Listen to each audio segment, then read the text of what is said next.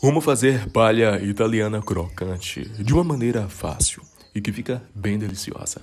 Faça um brigadeiro usando duas latas de leite condensado, quatro colheres de sopa de chocolate em pó, uma colher de sopa de manteiga. Se você é um amante da cozinha, deixe a sua curtida nesse vídeo e se quiser continuar recebendo nossas receitas diariamente, coloca um sucesso aí, beleza?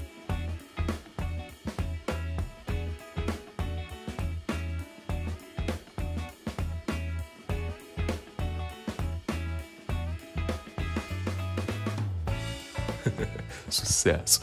Engrossou e começou a desgrudar do fundo da panela.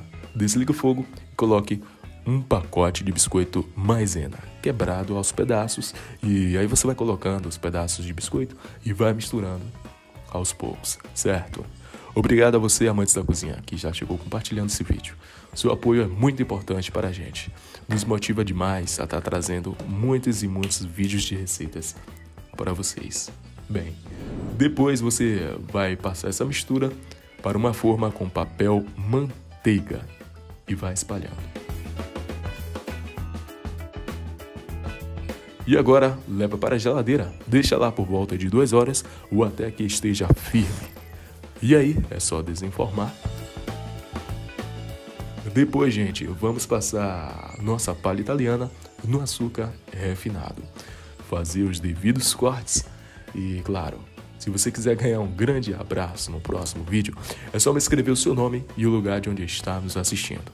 O grande abraço de hoje vai para Valéria de Barra Mansa, Rio de Janeiro, e também para Angelina Castro, de Brasília.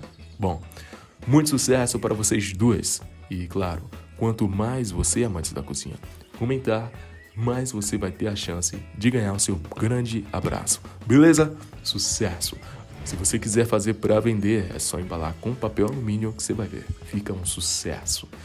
Palha italiana bem deliciosa é essa aqui. Escreve uma nota pela facilidade dessa receita. Pode ser? Deixe uma nota massa aí. Depois da nota, compartilhe esse vídeo com seus amigos e tira um dia para fazer essa delícia aqui. Tá bom?